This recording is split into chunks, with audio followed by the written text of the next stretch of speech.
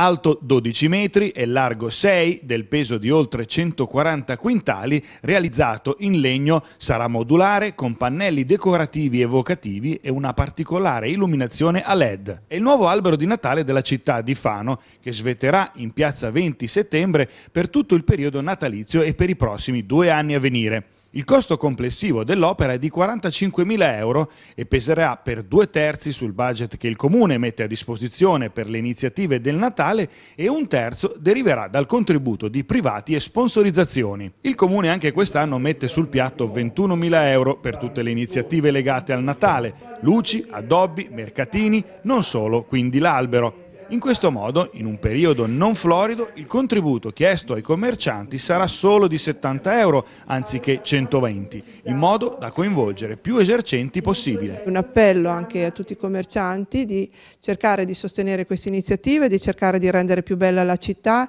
e più attraenti in queste giornate eh, di, festi eh, di, festività alla luce della fratellanza, alla luce della, solid eh, della solidarietà. L'albero del Signore Seri, così si chiama, è stato curato dall'architetto Seri e le decorazioni sono dell'artista Paolo del Signore, già noto alle cronache per essere l'inventore dell'ormai oggetto di culto del carnevale fanese, il prendigetto. È un albero molto grande, circa 12 metri, anche 13, ehm, per una grandezza di 6 metri circa e l'albero rappresenta racconta um, un po' una sto la storia, la bella favola del Natale, con delle illustrazioni dei miei disegni, un po' tipici della mia, del mio, eh, del, della mia opera, eh, però mh, che eh, rappresenta la città di Fano vestita a festa, vestita eh, addobbata a Natale. È un albero che comunque durerà per parecchi anni perché è realizzato in un materiale che può stare all'acqua, quindi è molto controllato da, parte, da, questo punto di vista.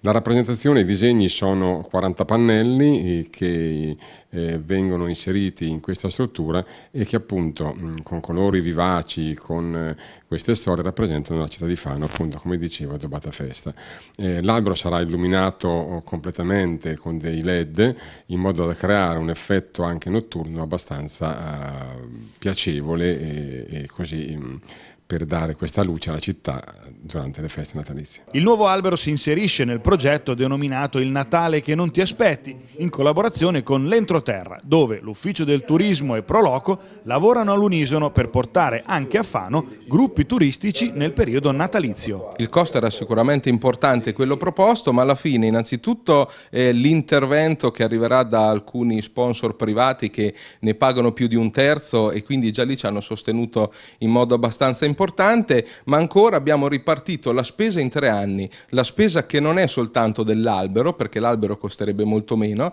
ma la spesa comprende l'albero, l'installazione per il 2016, l'installazione e lo smontaggio per il 2017, quindi diciamo che è un costo definito per tutti i tre anni in cui questo albero verrà montato e smontato e posizionato in piazza eh, 20 settembre. Quindi direi che ci avviciniamo molto ai costi degli alberi degli altri anni.